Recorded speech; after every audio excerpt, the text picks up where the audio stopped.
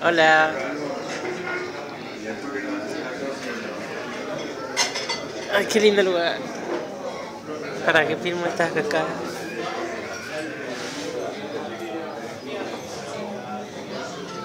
Qué raro. Y ella también. Hola.